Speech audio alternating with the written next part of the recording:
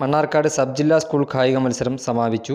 കല്ലടി school ഒന്നാം സ്ഥാനം കരസ്ഥമാക്കി. കഴിഞ്ഞ മൂന്ന് ദിവസങ്ങളിലായി എം ഇ എസ് കോളേജ് ഗ്രൗണ്ടിൽ നടന്ന വിവിധ മത്സരത്തിൽ കുമരമ്പത്തൂർ കല്ലടി ഹൈസ്കൂളിനെ പ്രതിനിധീകരിച്ച് നാൽപ്പത്തിയാറ് മത്സരാർത്ഥികളാണ് വിവിധ കായിക മത്സരത്തിൽ പങ്കെടുത്തത്.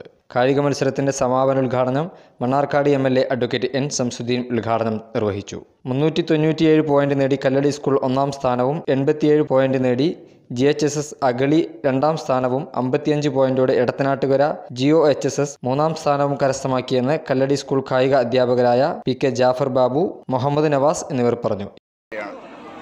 കഴിഞ്ഞ ഇരുപത്തിനാല് വർഷമായിട്ട് മണ്ണാർക്കാട് ഉപജില്ലയിൽ അതുപോലെ തന്നെ പാലക്കാട് ജില്ലാ കായികമേളയിലും കല്ലടി സ്കൂളാണ് ചാമ്പ്യന്മാരായിട്ടുള്ളത്. നിരവധി തവണ സംസ്ഥാന തലത്തിൽ രണ്ടും മൂന്നും സ്ഥാനങ്ങൾ കരസ്ഥമാക്കിയിട്ടുണ്ട്. ദേശീയ തലത്തിൽ രണ്ട് തവണ കല്ലടി സ്കൂൾ ഒന്നാം സ്ഥാനത്തും ഇതിനു മുമ്പ് എത്തിയിട്ടുണ്ട്.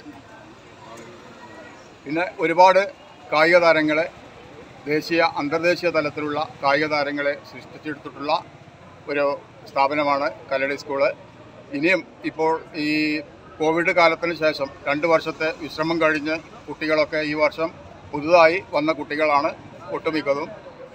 എല്ലാം പരിശീലനം നല്ല രീതിയിൽ നടന്നുകൊണ്ടിരിക്കുന്നുണ്ട്. കഴിഞ്ഞ വെക്കേഷൻ തൊട്ട് തുടങ്ങിയതാണ്.